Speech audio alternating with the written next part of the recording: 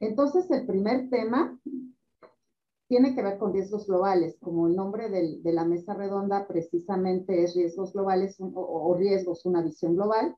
Eh, lo primero que, que, quisiéramos preguntarles es lo siguiente. Eh, hablando de riesgos globales, más que verlo como global, lo veríamos al riesgo como una parte de un sistema complejo, entendiendo esto del sistema complejo como que el impacto de, uno de, un, de, una amenaza de riesgo cumplida o de un evento de riesgo cumplido, eh, pues dispara otras, otras amenazas o el cumplimiento o la generación de otros eventos de riesgo, donde a su vez estos pues vuelven a disparar al primero. Me imagino que es como una, pues como una bomba atómica, ¿no? Donde un riesgo pues causa el, el pues la amenaza de que, de que se cumplan otra, otra serie de riesgos. Eh, me permití poner aquí la, la, diapositiva o la gráfica que eh, publica el Foro Económico Mundial.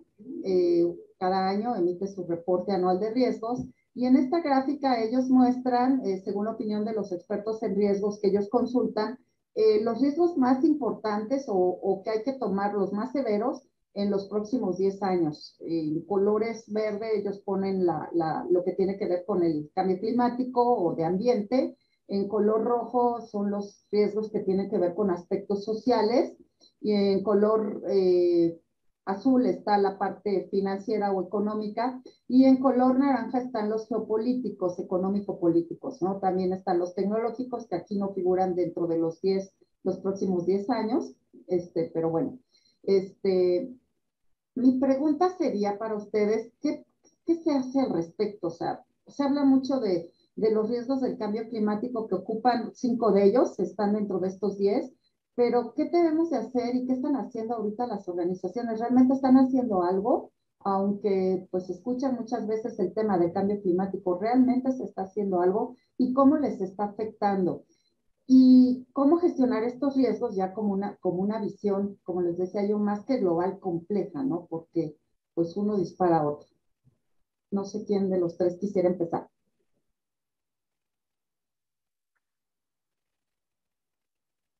Pues si quieres yo, Marta. Adelante. Ok. Bueno, mira, cuando, cuando veo esta pregunta y veo los riesgos que mencionan, eh, creo que como bien dice, esto se interrelaciona. Eh, acabamos de vivir recientemente eh, uno de ellos, señalado en rojo, ¿no? Eh, infectious disease, una, una, una, enfermedad infecciosa como lo fue el COVID-19 y todo lo que conllevó, ¿no?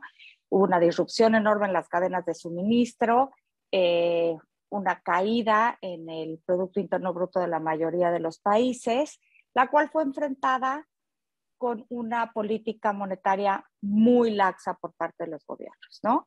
Entonces, de entrada ya tenemos un riesgo como el presentarse una, una enfermedad infecciosa con eh, un riesgo operacional, que es la disrupción en las cadenas de suministro, un riesgo en donde eh, los gobiernos buscan estimular la economía bajando las tasas de interés, lo que lleva a que incrementen la deuda, que también está ahí mencionado, un incremento de la deuda.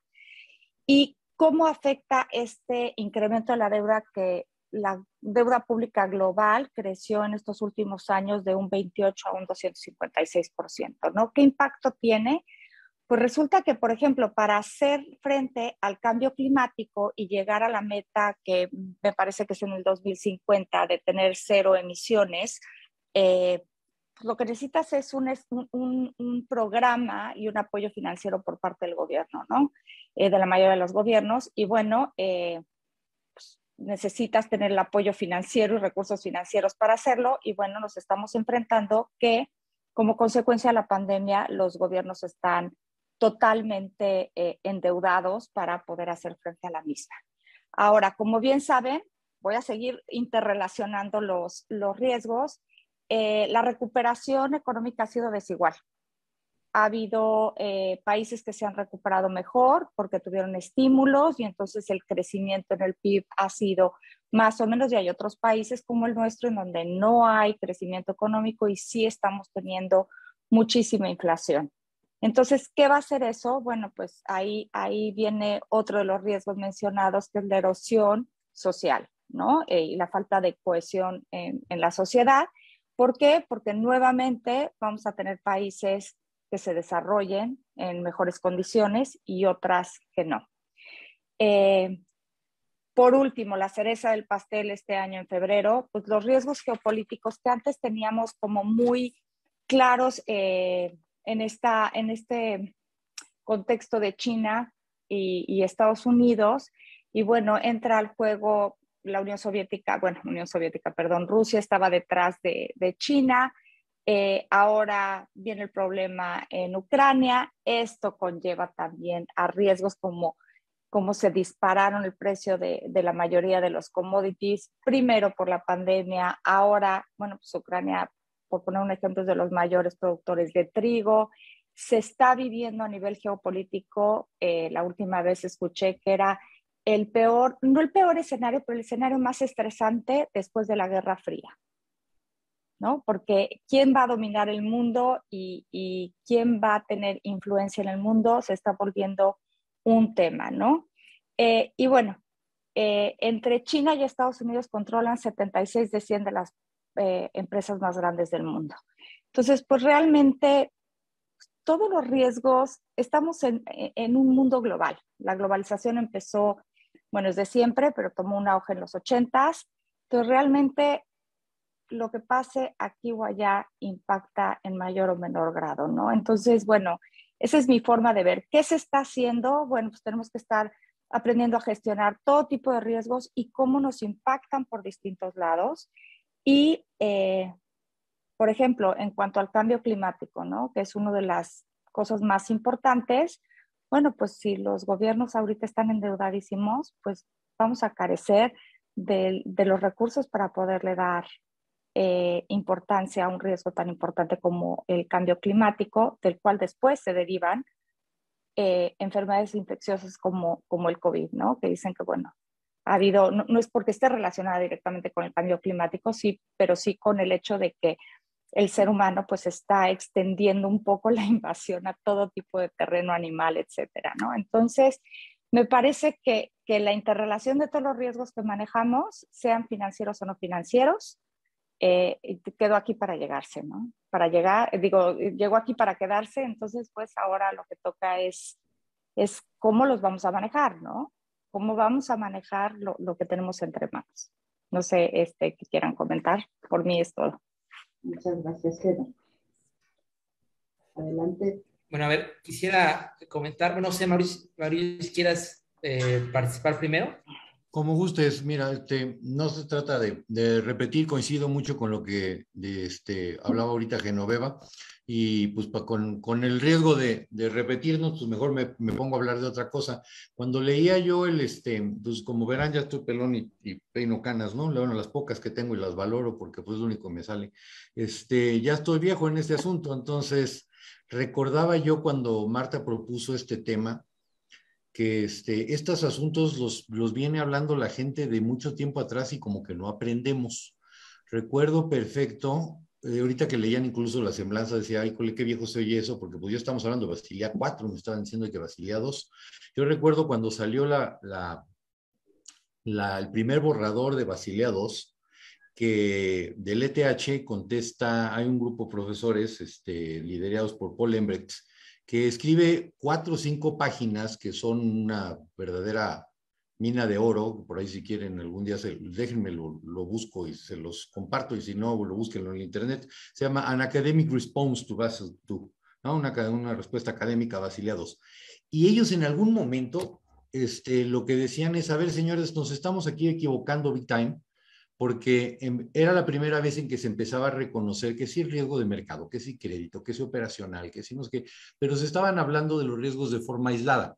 Entonces se hablaba de la necesidad de capitalizar una cosa, de tener medidas de control de otra, porque finalmente, bueno, podemos hablar de todo esto que está ocurriendo eh, a nivel macro, pero finalmente nosotros qué, ¿no? Así en este pequeño espacio en el que yo estoy o en la empresa en la que yo trabajo, este, pues a mí qué me toca hacer, ¿no? ¿Cómo puedo gestionar todo este asunto?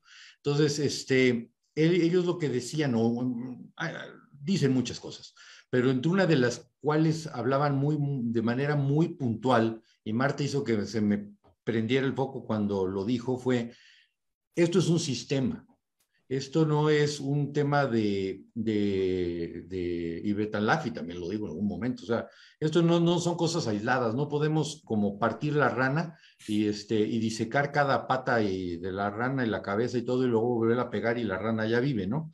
Este, no el, el sistema es la que mantiene la, la rana viva. Entonces, este, en ese sentido, todo se contagia y todo se interrelaciona y todo se jala una cosa a la otra. Y si esto quiero conectarlo con otra idea que también es muy vieja, que es el asunto este de los cisnes negros, ¿no? O sea, de que nadie espera que ocurra algo hasta que pasa. Entonces, oye, ¿quién iba a imaginar la pandemia? Nadie. ¿Quién iba a imaginar que eso se iba a juntar con un problema de cambios climáticos? Nadie. ¿Y quién iba a imaginar que para acabar con, como dice Genoveva, la cereza del pastel llega la guerra? Pues nadie. Y quien lo ha planteado como un escenario de estrés lo hubieran visto como un loco y le dicen, este, vete de aquí este, a, fumar eso feo que estás fumando en otro lugar, ¿no? Porque aquí no está bien. Este, aquí venimos a trabajar, no a, no a alucinar. Pero resulta ser que esas cosas de cuando en cuando concurren y lo que tenemos que hacer es de una vez por todas entender que esto es más difícil de lo que pensábamos. Eh, ¿Qué es esto? La administración de riesgos y la gestión de riesgos. Nos hacemos muy especialistas en que si voy a tener tal métrica para administrar riesgo de mercado, o tal otra para riesgo de crédito, o tal otra para... Y se nos olvida que las cosas están interrelacionadas y se vuelve una carambola de cinco bandas y le pegas a una cosa y esa le pega a otra y a otra y a otra y a otra. Como un asunto de salud pública se convierte en un asunto sistémico, en una crisis global de crédito y en una crisis de aversión de activos este, emergentes y en una este, desconfianza de cierto tipo de gobiernos. Y entonces hay un reacomodo de las inversiones, hay una reacción de los bancos y de las instituciones a sus políticas de crédito. Hubo, hay que reconocerlo, en México una reacción muy oportuna de los bancos en cuanto a la gestión de carteras de crédito. Yo cuando le empecé a venir, ver venir, bueno, yo trabajo en un lugar donde damos garantías, digamos que somos la, la red de seguridad de los bancos. Nosotros nos cachamos pagamos las pérdidas de lo que ya hicieron mal aquellos. Este, entonces yo dije, nos va a salir espuma hasta por las narices. Este, y no, bueno, desafortunadamente tuvimos un, un escenario terriblemente complejo, pero muy bien gestionado, o sea, se reaccionó de forma muy oportuna con planes de apoyo a deudores, con prórrogas de pago, digamos que logra, se logró de alguna suerte sortear ese momento pero ese momento no se ha acabado. Y entonces yo lo que empiezo a sentir ahorita es que ya la gente empieza a, colgar los brazos, como decir, este, ya la libramos y no hemos librado, pues de lo mejor ya libramos el primer round y el, vamos por el segundo o por el tercero, pero esto, esto sigue. Y tenemos que tener ahora, y eso a lo mejor lo vamos a contestar en la tercera pregunta, tenemos que tener profesionales multidisciplinarios, aunque cuando no sea eh, tu formación multidisciplinaria, tu pensamiento sí tiene que ser multidisciplinario. Yo no me puedo asumir, por ejemplo, un experto ambientalista, en absoluto no lo soy, ¿no? Pues hoy me sé dos, tres truquitos en mis temas particulares, ¿no? De mercados y de riesgos, este, de crédito y demás, pero si no me puedo desentender de que hay otras cosas, ¿no? Y luego hay como riesgos emergentes que no nos gusta ver porque están ahí, ¿no? El tema de ciberseguridad y el tema de protección de información y el tema de, y en estos ambientes de, de, reacomodo geopolítico, como hablaba Genoveva, donde se concentra el poder y por tanto la riqueza y por tanto la información y por tanto también la no seguridad y la vulnerabilidad en, en, unas cuantas manos, pues obviamente hay mucho más interés en, ir y robarles ahí la información y lo que sea. Perdón que esté hablando de todo revuelto, pero es que ese es el tema que estamos viviendo, que ya todo está revuelto, ¿no? Entonces tú tocas un tema y como bien apuntaba Marta al inicio, eso se contagia. Y eso nos lo vienen diciendo, les dije, ese fue un paper que se escribió en 1999,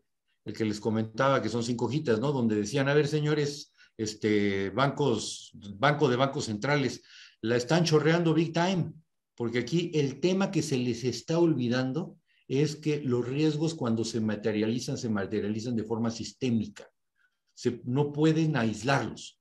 Y la industria, ya sea por la manera por facilitarlo, porque es la única manera en que lo sabemos hacer o porque así han ido dándose las cosas, nos es más fácil ir de uno por uno y, este, y después esperar que, que se agreguen solitos, no sé, en un reporte o en algún lugar, ¿no? Pero este asunto de que una cosa le jalas un hilo y se te mueve por allá y no lo esperabas, este, pues es, real.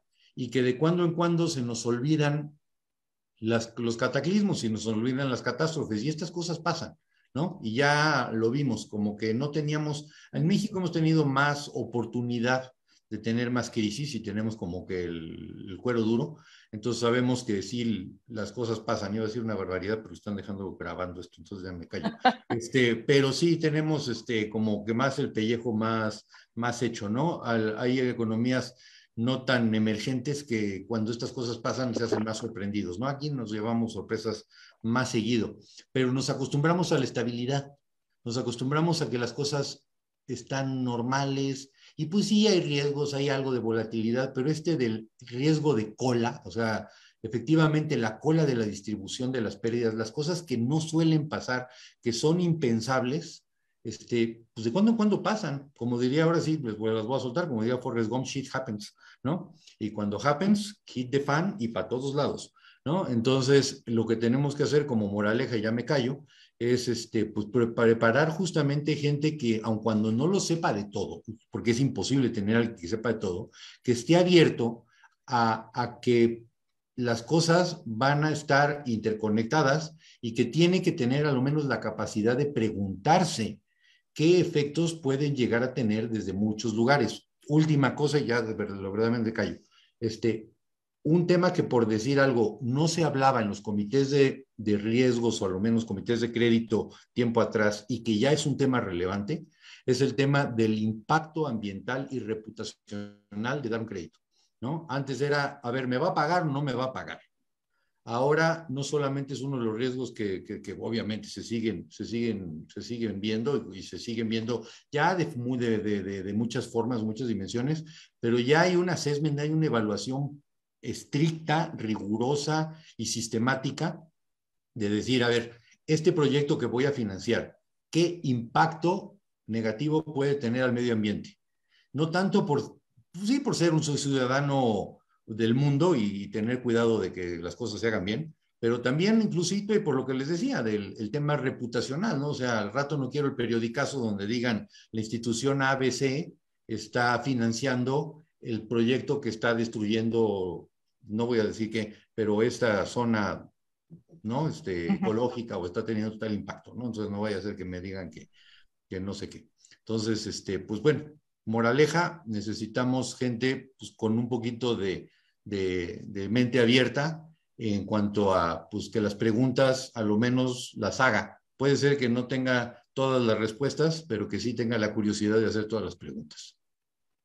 Muchas gracias, Mauricio. Muchas gracias. Bueno, mi, quiero antes dividir la pregunta en dos, tal y como está. Primero quisiera hablar un poco de la complejidad, que creo que ya está bastante eh, platicado, pero me gustaría añadir algunas cosas. Y después qué, hacer y quisiera platicar un poco qué estamos haciendo desde la, desde la ABM, desde los comités del ABM, eh, y dar un poco mi punto de vista, ¿no? También creo que eh, quisiera incluirlo. Bueno, lo primero es la visión compleja. Bueno, quisiera iniciar diciendo que hace muchos años, cuando yo inicié en estos temas, como en, Banco de México se hablaba de la visión standalone, que era básicamente eh, yo analizo el riesgo aislado de una institución y era suficiente para entender el riesgo del sistema, ¿no? Eh, después nos dimos cuenta pues que no era así y entonces inicia lo que es, eh, después de muchos errores, inicia lo que es Basilea 3 y, se incluye algo que se llaman eh, los bancos sistémicamente importantes. Ya se habla de, que hay bancos que pueden romper ese sistema y que no se puede nada más analizar a los bancos de manera individual, sino la experiencia que tuvimos en la crisis de Estados Unidos de 2009 nos dejó claro que había interrelación entre los bancos, hablando de ejemplo de los bancos.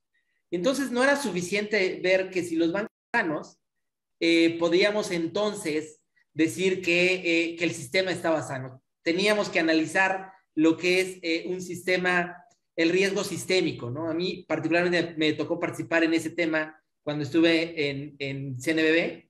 Hicimos un anexo que se llama, se llama el anexo 1T justamente para atender este, este problema. Ahora nos damos cuenta de otro tema, ¿no? Que ahorita está trabajando Banco de México, me parece de manera muy acertada, que es justamente cómo están relacionados, ya no nada más es riesgo de crédito, por decir alguno de los riesgos, pero pueden ser otros. Le pega un banco y este banco puede hacer que el sistema quiebre. Ahora lo que estamos analizando, y me refiero a bancos, pero puede aplicarse en cualquier tipo de mercado, para cualquier tipo de instituciones. Ahora lo que estamos analizando es que hay ciertas, eh, ciertos factores, ciertas, ciertos problemas que detonan otros problemas que pueden afectar a las instituciones, a otras empresas y que estas mismas instituciones pueden eh, afectar a, todo un mercado, a toda una industria y a todo el sistema económico en general. Hemos tenido experiencias como ha sido la más reciente, lo del COVID-19, y me parece que hoy en día estamos a punto de tener otra experiencia que ojalá, o tocó, bueno, aquí no hay madera, pero bueno, supongamos que es madera, ojalá no suceda, nos pongamos las pilas antes, pero la verdad yo no lo veo, que es el, problema del cambio climático. Hoy eh, entramos al tema, pero me parece que entramos, pero no tan entramos, ¿no?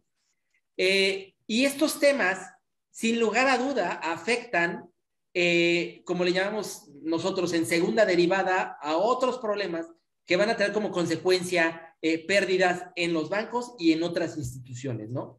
Ejemplo, me parece que el tema del cambio climático seguramente va a traer un aumento en el precio eh, de, los alimentos, que seguramente va a tener como consecuencia economías más pobres, con personas con eh, ingresos disponibles más bajos, que podrán hacer, eh, tendrán menor capacidad monetaria para hacer frente a ciertas obligaciones, ¿no?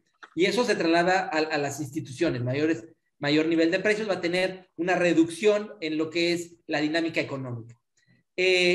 Lo que vimos en el, en, en, el problema de las infecciones, yo creo que fue un ejemplo muy bueno, porque antes se hablaba, me acuerdo que, sacaron un artículo, Gerardo Esquivel, el actual gobernador del Banco de México, en el que decía que el problema del COVID nada más era como transitorio que afectaba choques a la demanda, ¿no? Pero que esto prácticamente se iba, eh, se iba eh, a restablecer. Si mal no acuerdo si era, su artículo, por favor, si alguien me corrige, eh, está en todo su derecho. Bueno, hoy nos demuestra algo que, que no es así la visión, ¿no? El problema del COVID sí es una reducción inicial de la demanda, pero posteriormente lo que se observa es que hay choques en la cadena productiva que disminuyen la oferta y lo que estamos viendo del, nivel de precios elevados es justamente la consecuencia de la contracción de la, de, la oferta que, que, que, se, que se observó por esta reducción en la demanda, la, necesidad, la capacidad productiva se redujo y ahora no podemos eh, a andar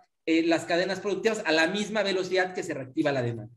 Entonces, eh, como quiero mencionar que estas, hoy en día hemos tenido experiencias de que nos han, eh, de que los riesgos se, se, relacionan y nos pegan, como nosotros llamamos, en primera y en segunda derivada. Pero quiero mencionar algo, que es cierto, porque ahora me toca estar acá del, en el sector privado. Antes, antes yo criticaba, y ahora, ahora antes criticaba los del sector privado, ahora me toca estar acá, ¿no? Pues sí quiero decir que es sumamente complejo medirlos. Eh, recuerdo muy bien que le decían a Standard Poor's que había calificado mal los, eh, estos mortgage backed securities, lo cual yo estoy de acuerdo y que les había puesto una calificación triple A, que eran buenísimos, y vino un, un, mecanismo de correlación que fue justamente este, este problema en la vivienda en Estados Unidos, y quiebran todos estos, estos, eh, estos papeles, ¿no? Y entonces dijeron, no, Standard Poor's y Fitch y Moody's y todas esas calificadoras, fue culpa de ellas. Sí, pero si ustedes me dicen, ¿y tú cómo lo hubiera? Primero, yo lo hubiera visto, híjole, pues, pues sí, estaba difícil, ¿no? Y lo hubieras medido, pues ya conociéndolo, ya con la experiencia, pues ya con, ya hubiera, ya, a lo mejor, pero antes, antes de que algo así hubiera sucedido, pues yo creo que la experiencia nos va enseñando cómo se van interrelacionando, eh, cómo se van relacionando estos riesgos sí quiero mencionar la dificultad que es de, entender exante cómo se relacionan, ¿no? El ejemplo más claro, justamente es lo que pasó en la crisis 2008-2009 con estos eh, mortgage backed security, la dificultad de anticiparse y bueno, la experiencia desafortunadamente se materializa y es como nos vamos dando cuenta de cómo, se, cómo aparece esta relación. Insisto, viene un tema muy importante que se está platicando, qué bueno, que es el cambio climático. Me parece que es un tema que tenemos que poner mucha atención eh, y ojalá nos podamos anticipar, aunque bueno, creo que hay algunos, algunos tipos de políticas eh, públicas que no se ven tan alineadas. Ahora, déjenme platicar el qué hacer. Quiero platicar un poco de qué estamos trabajando a nivel de, gremio, pero también luego quiero dar mis puntos de vista. Eh, bueno, eh, justamente lo que queremos es pedir a, los proyectos que vamos a estar fondeando, lo que queremos justamente es pedirles esta huella de carbón, de cuánto es lo que está dejando la huella de carbón y que en caso de que haya mayor huella de carbón, pues esto se afecte a lo que serían las tasas de interés. Es lo que se, se desearía, ¿no? Me parece, eh, digamos que el castigo sería el costo en términos eh, para, para los que los, los diseñadores de los proyectos, el costo sería, ok, me cuesta más fondearme porque yo no tengo esta capacidad, o más bien es contaminante mi proyecto, ¿no? Eh, por otro lado, bueno, las instituciones bancarias también a través de la revelación de, información en, en, la bolsa, por ejemplo, nos van a pedir que eh, llevemos un reporte auditado de cuál es nuestra huella de carbón, eh, en términos para que tenga un efecto reputacional también, eso es importante, porque ahora cómo se va a relacionar este modelo de riesgo climático, este riesgo climático con eh, las decisiones a nivel institucional va a ser a través de la reputación. Yo te, eh, tengo mucho, eh, tengo mucha huella de carbón, ah, ok, entonces hay un costo de reputación. Entonces, eh, creo esa es la visión que se tiene. Ahora, desde otro, em, sí quisiera decir que desde mi punto de vista es una decisión correcta, no obstante, sí se tiene que hacer uniforme para todos y me parece que deberíamos de que que se solicite en aras de que el mercado sea competitivo de manera pareja, eh, se haga como de una forma regulatoria, se solicite regulatoriamente a, las, a, ciertos proyectos de infraestructura con ciertas características esta información, ¿no? Porque podría darse el caso que algunos sí lo hacen, algunos no lo hacen, y entonces podrían empezar a ganar mercado por, eh, si de por sí les pedimos muchísima información, eh, para aquellos que trabajan en banco hay un tema de personas relacionadas que prácticamente desviste a, a las a, las empresas. Eh, eh, entonces, yo creo que sí debería ser como, como algo regulatorio que nos, nos lo impongan a nivel gremial para evitar esto de que, ah, pues algunos sí lo aplican, algunos no lo implementan y el desarrollo del mercado sea más homogéneo. Pero quisiera añadir algo muy importante. Se habla mucho de, particularmente del riesgo climático, hoy en día las autoridades están trabajando en ello. Eh, ya al parecer Comisión ha levantado la mano, también Banco de México ha estado trabajando a nivel más más investigación, pero ha hecho trabajos interesantes sobre, sobre el tema del cambio climático. Pero sí quiero decir algo, ¿no? Yo creo que hay que alinear las decisiones del gobierno a estos, a estos temas de cambio climático. Eh, yo creo que todos nos encantaría tener eh, un día que cero emisión de carbón, ¿no? Y nos encantaría que, que la energía eh, se, se produjera de manera limpia, y pudiéramos ver, por ejemplo, eh, echar a andar desde el punto de vista de los bancos, echar a andar proyectos de inversión eh, de energía limpia, ¿no?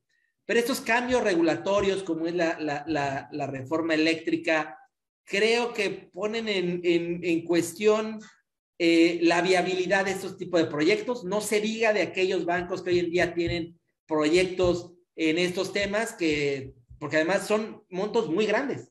Entonces, no se diga de los bancos que tienen ahorita eh, proyectos de inversión de energías limpias que están asustados, dígase banca de desarrollo, y que hablando de la interrelación, estas decisiones de gobierno eh, tienen efectos, más allá de si están a favor o en contra, que ese no es el tema, las decisiones tienen efectos en, en el riesgo que está generando a nivel sistema, porque muchos proyectos de energía limpia que parecían viables, ahora son cuestionados por la implementación de, esta, de, este, de este tipo de reformas. Entonces, sí creo que, yo creo que como gremio estamos muy interesados en que, en que se echen a andar este tipo de políticas para para impulsar la, el, para detener el cambio climático.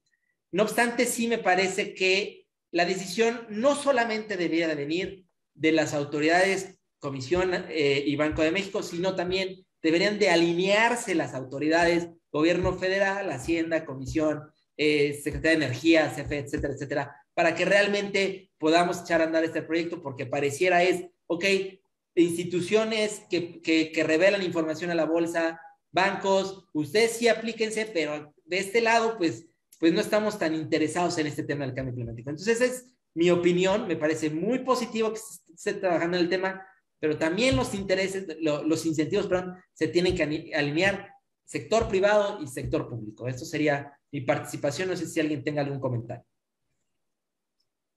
Muchas, muchas gracias. Este, Vamos a la siguiente pregunta. Eh, si tienes razón, Alfonso, yo creo que también aquí la, la, educación y hay algunos docentes también presentes en este, en este evento. Creo que nosotros también como eh, sector de, educación pues tenemos aquí mucho, mucho que hacer. ¿no? Muy buenas, muy buenas ideas. Muchas gracias.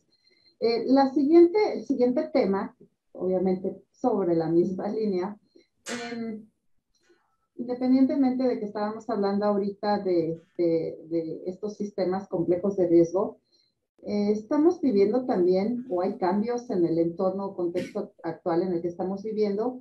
A esto eh, nos referimos, por ejemplo, a que nosotros mismos lo decimos, ¿no? Las generaciones actuales, ¿no? Ahora no piensan como nosotros pensábamos, ¿no? Por decir un ejemplo.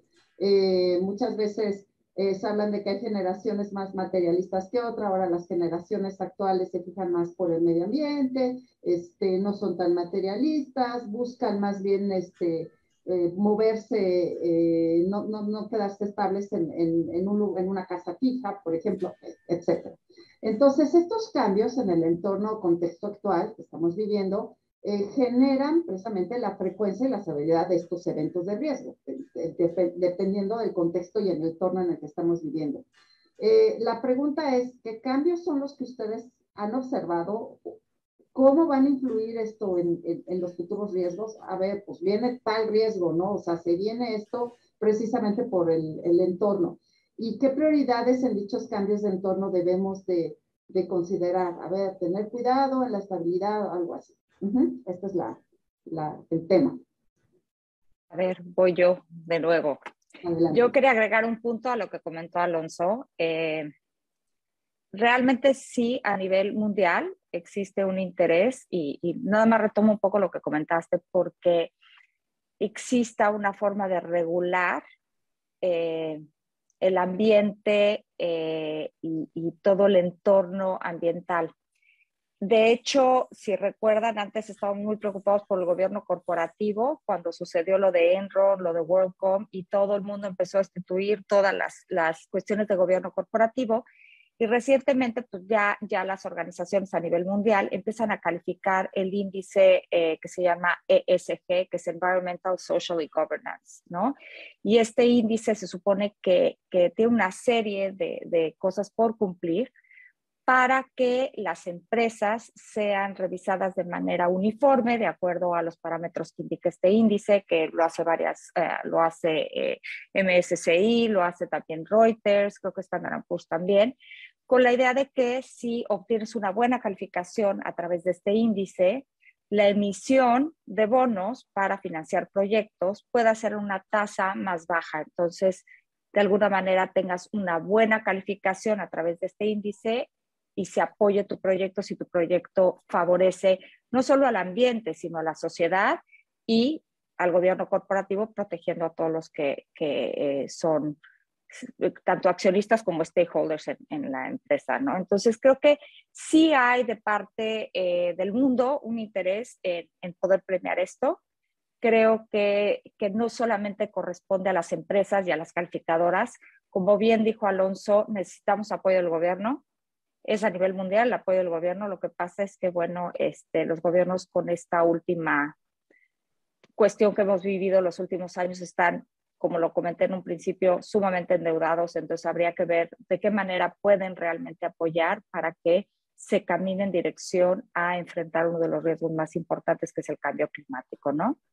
Eh, otra cosa que quería agregar con respecto a la pregunta que acabas de hacer, Marta, sí, definitivamente eh, esto último que ha venido pasando en los años ha incrementado el nivel de incertidumbre en más de un, un aspecto, ¿no? Este, financiero, no financiero, operacional, como, como comentaba Maurilio, ya está todo interrelacionado, ya no sabes por dónde te va a brincar. Eh, ¿Qué propondría yo? Eh, yo, yo saben que mi área es más financiera y más de estrategia. Y leí el otro día un artículo que decía, tenemos que sentar al Chief, al Chief Risk Officer en la mesa de estrategia. Tenemos que integrar la estrategia de una empresa eh, con, la, con la planeación y manejo de los riesgos, ¿no? O sea, que, que también esté sentado ahí viendo cuál es la estrategia del negocio, eh, cómo podemos tener eh, pruebas de, estrés, cómo podemos incorporar medidas de riesgo, indicadores de riesgo y cada cuánto podemos ir eh, relacionando todo esto para que, para que se maneje de una forma más integral el riesgo integrado a la estrategia de la empresa de acuerdo al entorno específico de la empresa en, un, en, un, medio ambiente, en un entorno macroeconómico, etcétera. Y hay un concepto que les comparto que me gustó muchísimo, que así como hablan de eh, design thinking, eh, este artículo hablaba de un concepto que se llamaba the risk thinking, ¿no? O sea, como, como como volver a hacer el thinking estratégico orientado, incorporando un poco el riesgo, ¿no? Este, creo que sí sería un buen punto, ¿no? Este, hay números, hay aproximaciones, hay probabilidades, etcétera, pero creo que en la medida en que las empresas puedan integrar de mejor forma a su estrategia el manejo de, riesgos y estén ambas áreas de la organización bien comunicadas, pues podemos hacer frente a a lo que está pasando, porque la incertidumbre ha existido siempre, pero digamos que no en tantos frentes ni de, manera, ni de, manera tan inesperada como se ha dado en los últimos años. Bueno, pues siguiendo un poquito tus ideas, déjame este, eh, comentar algo. como decía Marta, cada generación tiene su, su, este, su apellido, no nos gusta poner etiquetas y decir, bueno, hay una, generación más, más materialista y hay una generación que, que, le interesa más generar patrimonio y hay otra que le interesa más este, vivir la vida y no sé qué. Pues yo creo que más bien son respuestas.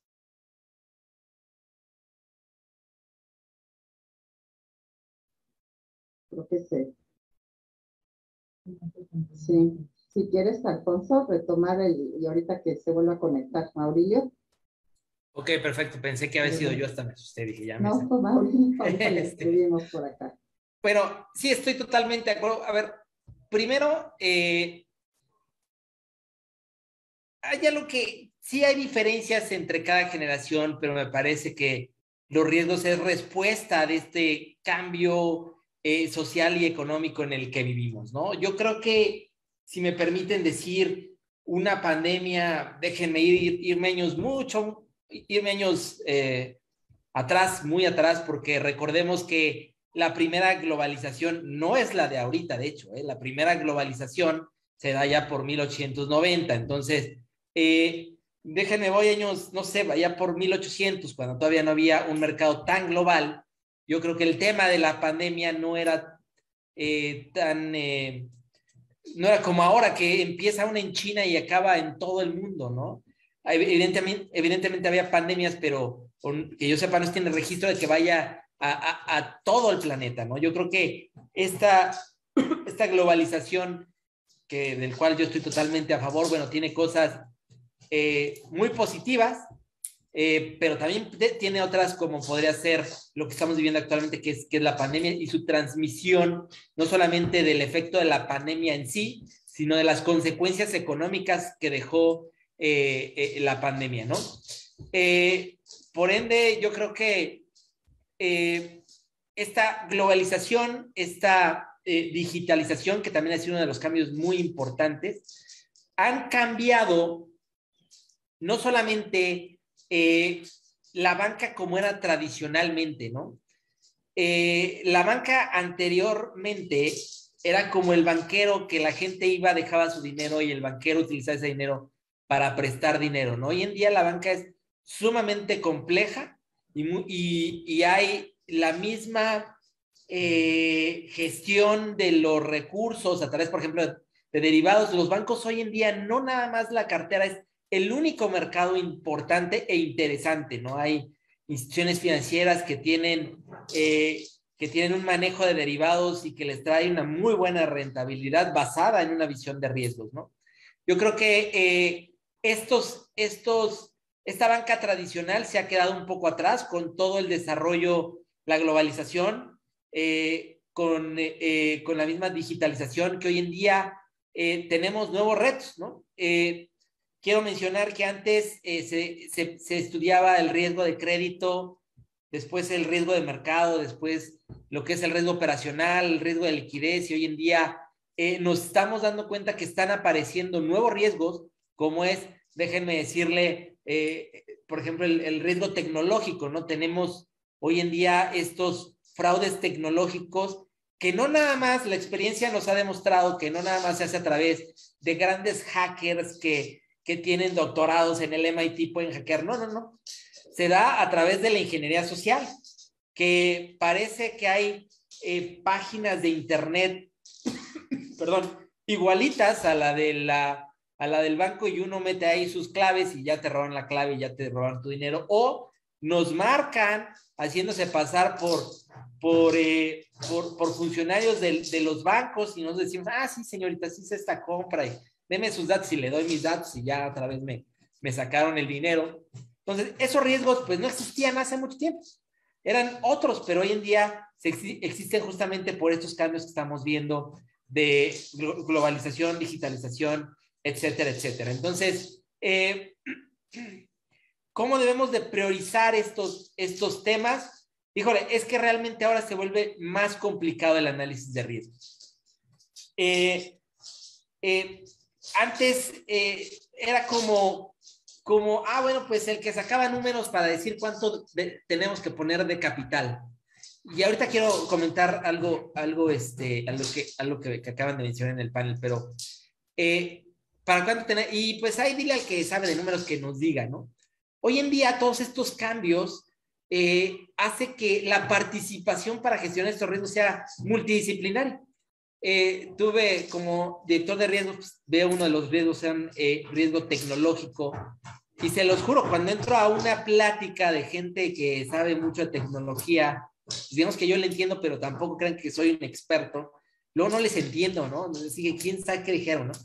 Porque, porque ya se vuelve tan específico que hoy en, hoy en día es muy difícil que, que un especialista puede decir, ah, pues yo voy a darle eh, prioridad al riesgo de crédito porque ya es, el riesgo es tan genérico, bueno, mejor dicho, tan amplio, mejor dicho, que se necesitan especialistas de, todas las áreas para poder gestionarlo y, y, darle prioridad a todos, porque si me dicen, el riesgo de crédito es prioridad, pues no, hemos visto bancos que han perdido cantidades enormes justamente por, el, por, por, eh, por los ciberataques, ¿no? Eh, hoy en día se habla del riesgo climático, qué bueno, pero si no nos ponemos las pilas, vamos a darnos cuenta que hay, eh, que, que, esto puede ocasionarnos eh, pérdidas enormes a, a, las acciones financieras y a todo el mercado, ¿no? Y es necesario que los expertos, que probablemente no son ni matemáticos ni economistas, son más bien gente que sepa ambientalistas, nos den hacia dónde tenemos que, ir y qué políticas tenemos que, implementar.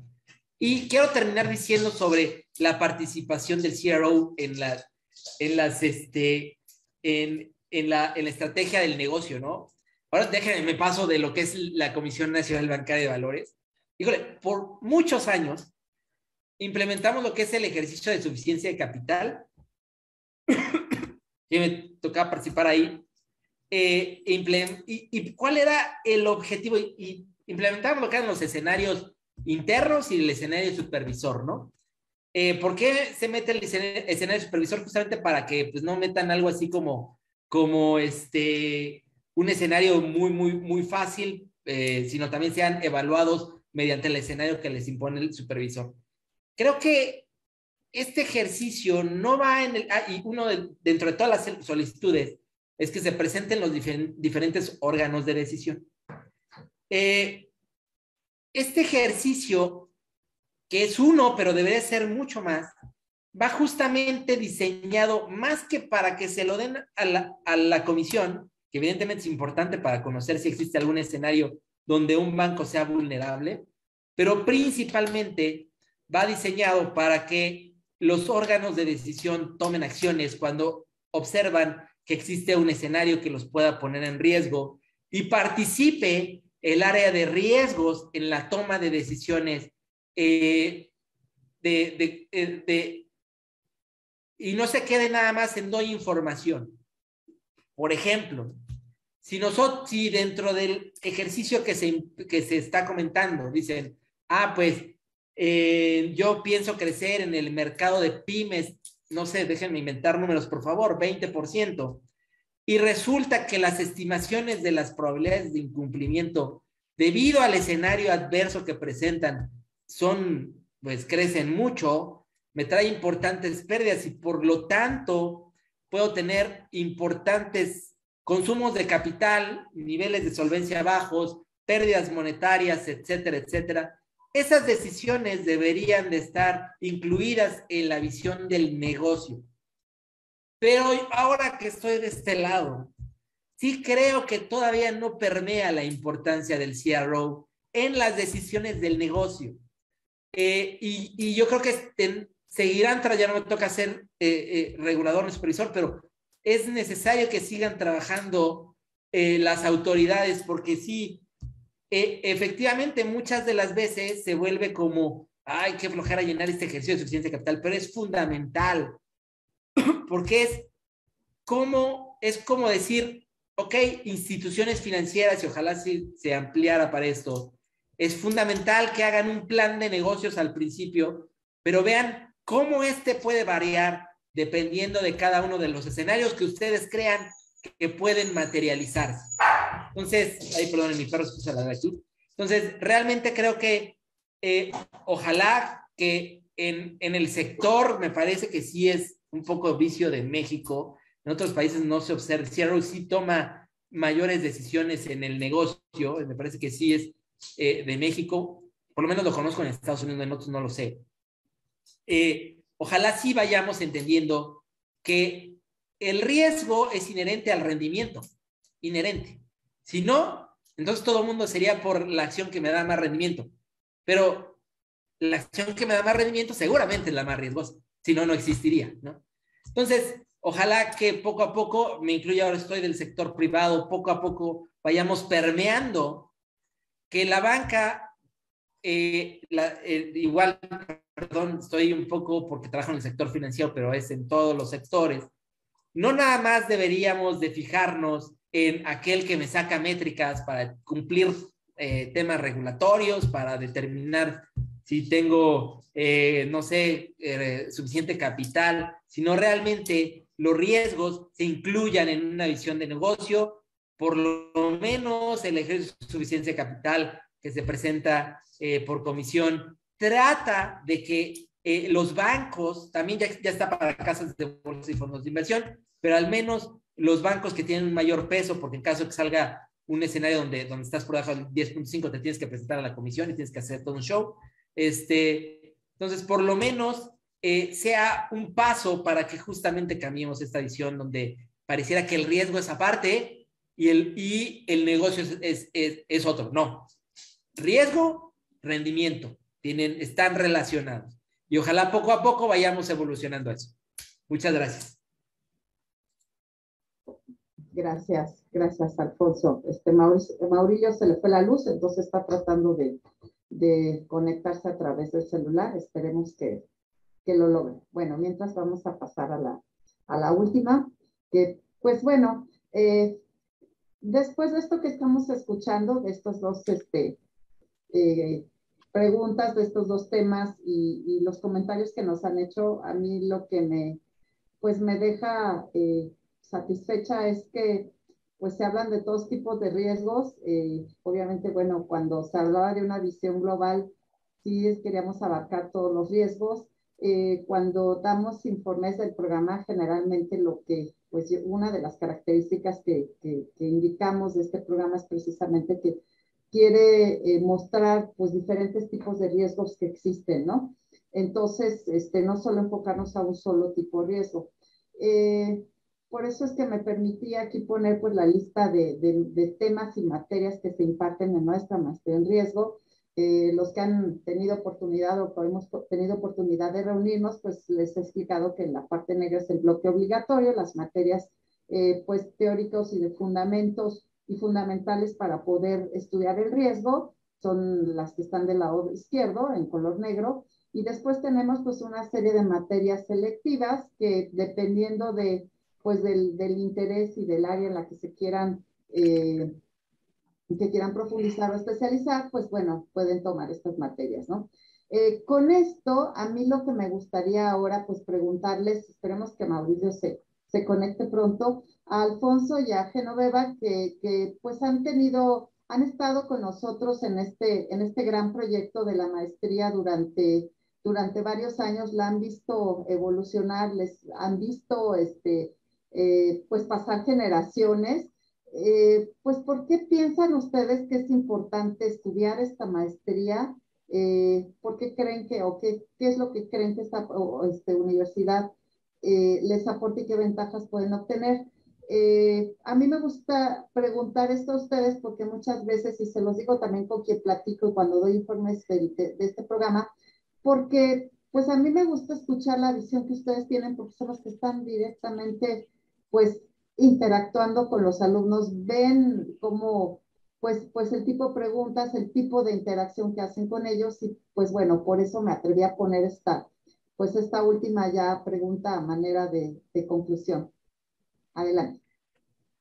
Pues mira, Marta, yo creo que eh, la, orientación de la maestría no es solamente a, la administración de riesgos de tipo financiero, ¿no? Este, realmente la orientación de la maestría es hacia todo tipo de riesgos, aunque no podemos perder de vista que los riesgos, aunque los clasifiquemos como financieros y no financieros, que es como la gran clasificación que yo haría, pues aunque los quieras separar, se hablan entre sí. ¿Me explico? O sea, un mal manejo de un riesgo no financiero va a tener un impacto financiero. Entonces, eh, creo que aunque pudiéramos hacer esta gran separación, eh, realmente se hablan entre sí. Eh, como yo les digo, a mí este artículo que les comenté hace un momento me llamó mucho la atención porque, bueno, este, para quienes no lo saben, yo doy riesgos financieros, estoy en la parte de evaluación de instrumentos financieros eh, también eh, en la licenciatura veo algo de derivados y riesgo operacional, transaccional y de traslación. Y bueno, finalmente vuelvo a lo mismo, se hablan entre sí, se afectan entre sí y creo que lo importante es la forma en que a través de la maestría pueden entender esta, esta amplitud, ¿no? O esta cobertura completa del de, impacto que tienen los riesgos. Eh, me parece importante que, que sea así, porque como se los comenté, ¿no? Yo aunque me pueda dedicar a, dar eh, evaluación de instrumentos financieros, ya hablé de bonos, ya hablé de tasas de interés o en algún momento eh, también me enfoco mucho a finanzas corporativas, siempre les digo a, mis alumnos, eh, nada sirve si no, no, no, lo analizamos dentro de un entorno, ¿no? De un entorno, de una industria, y me refiero a entorno, entorno macroeconómico, internacional, nacional, la industria y cuál es la estrategia del negocio. Y dentro de la estrategia del negocio siempre va a estar contemplada eh, la administración de riesgos. Tiene, va de la mano y, como digo yo, sí creo, Alonso, que eventualmente se tiene que lograr que el Chief eh, Risk Officer esté sentado en la mesa, ¿no? Porque el manejo de riesgos inevitablemente va a impactar a otras, a otras eh, áreas, ¿no? Eh, hay que, yo creo que te impacta en, en el, eh, te impacta en el efecto que pueda tener un riesgo que no está controlado, la repercusión financiera que tiene, las consecuencias o pérdidas consecuenciales que tiene un, un, evento, O sea, finalmente es, es un mismo lenguaje y creo que es muy importante que la cobertura sea sumamente amplia, ¿no? Eso es lo que, aunque sea amplia, da una mayor integración sobre la visión que debe de tener una correcta administración de riesgos, ¿no? Este, a mí me gusta el enfoque y espero poder seguir contribuyendo a que esto sea así. Muchas gracias. Muchísimas gracias, Seno. Por supuesto que sí, aquí está. Yo primero quiero decir que llevo ya algunos años aquí en la maestría y he visto la, la evolución de, de, la maestría. Y ahora déjenme, eh, desde el punto de vista de, de, la administración de riesgos, pues, pues ha evolucionado eh, de manera importante. Y lo que me gusta es que justamente la maestría va de la mano, ¿no? Eh, déjenme mencionarles, como, como les dije, hoy en día la administración de riesgos no es del matemático, del economista que habla de números y, la economía crecerá, bla, bla, bla, ¿no? Eh, como les mencioné, hay algunos riesgos tecnológicos, hay algunos riesgos legales, hay algunos otros riesgos que, que, incluyen muchas otras eh, puntos de vista que son muy importantes, eh, que no lo puede ver alguien que solamente está enfocado al cálculo de estadísticas o algo así, sino necesitamos diferentes especialistas, ¿no? Eh, me parece que eso cumple, primero, antes que nada, algo que me, me, me, llama mucho la atención de la maestría, me parece una visión absolutamente acertada, es, es que hay, eh, hay backgrounds de todo tipo, ¿no? Que yo creo que es, es muy positivo porque encuentras desde, bueno, pues el actuario y el economista que digamos es es clásico que esté ahí, hasta gente que se, es administradora, contador, etcétera, etcétera. Hay diferentes eh, backgrounds, lo cual enriquece los puntos de vista, que yo como profesor siempre les voy a decir, se los agradezco, ¿eh? porque a mí también me, enriquecen los puntos de vista, ¿no? Eh, ese es por un lado, ¿no? La, el, el, eh, el, tipo de, de, alumnos que, que egresan, que, que, que aportan muchísimo a lo que es esta maestría. Ahora, respecto al temario, que como bien menciono, ha estado evolucionando y me parece que cubre muchísimos de los puntos que hoy, digo, se necesitan, ¿no? Eh, primero, eh, antes, por ejemplo, pues el mercado me atrevo a decir que era un poco, pues sí, un poco más estático, pues es la verdad, ¿no? Eh, pues la información no se tenía tan rápida y uno podría ir, irse a tomar un café y regresaba, ¿no? Y ya todo seguía, pues ahí más o menos igual, ¿no? Pero hoy en día no. Hoy en día eh, la información fluye sumamente rápido, si no, pues no vieron lo que pasó con la cancelación del aeropuerto y cómo subió el dólar y aquellos que tenían posiciones en dólares, derivados en dólares, se fueron de espaldas, ¿no? Y la información fluye rapidísimo. Y entonces, ¿cómo administramos esa información? Tema que hoy que estoy aquí les digo, hoy que estoy del lado de este lado, del, sector privado, les digo, ¿cómo sufro? Porque la, la, información es tan rápida que tenemos que estarla cachando justamente para un tema que tenemos, ¿no? Si hay operaciones de derivados que vayan en nuestra contra, se consideran, por ejemplo, puedan materializar salidas de efectivo, ¿cómo yo le puedo decir de la mesa de derivados, cómo le transmito a la tesorería aguas, porque nuestras posiciones en derivados van en contra, ¿no? Aguas con los activos líquidos, porque si no podemos tener un incumplimiento del llamado coeficiente de cobertura de liquidez. Pero si yo me hubiera sentado en el cabecito, bueno, si acabo todo este espacio, no, no, no. Hoy en día la información fluye muy rápido. Y a lo que me gusta, por ejemplo, de esta maestría es que toma en cuenta justamente todos estos modelos, tecnologías de la información, todos estos modelos de programación de algoritmos, porque es tan rápido el mundo que si yo le digo a alguien, ay, calcúlate en Excel algo, ¿no? O en el bar, qué sé yo, ¿no? Métricas. Así deja, copy, pego la hoja aquí, la pego acá y saco el cálculo, corro la fórmula, ya me ganaron. Ya, ya me quedé atrás, ¿no? Entonces, la maestría tiene, por ejemplo, ese enfoque que hoy en día que estoy aquí en el sector privado, se necesita porque la información fluye rapidísimo. Otro tema que me parece muy importante es justamente esta, eh, e, esta integración que tiene, por ejemplo, una visión eh, macroeconómica que nos permite conocer cómo se relacionan todos estos riesgos, como les mencioné hace rato, que eh, pues si nosotros tratamos de entender cómo se da este primer riesgo, esta segunda derivada, como le decimos, tercera, cuarta, pues justamente tenemos que entender lo que le llamamos los canales de transmisión.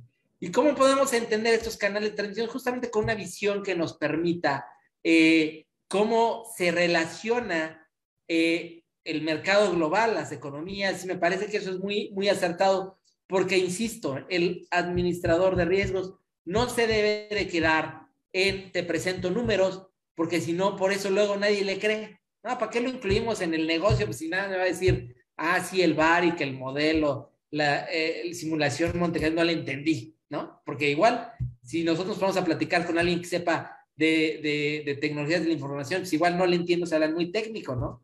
Pues igual a nosotros no nos entienden si hablamos muy técnico. Entonces, eh, tenemos que aterrizarlo para que las decisiones, la medición del riesgo, sea tomado en las decisiones del negocio, ¿no? que me parece que eh, en el mercado mexicano hace mucha falta, ¿no? necesitamos una visión eh, mucho más, visión riesgo y negocio. Entonces, evidentemente, pues el riesgo es, se debe de medir, si no se mide, pues eh, no es de tanta utilidad porque esta medición nos permite tomar decisiones y no se debe de quedar nada más en, un diálogo entre diferentes líneas eh, de decisión, sino en términos de medición para saber si este riesgo es relevante o no es relevante.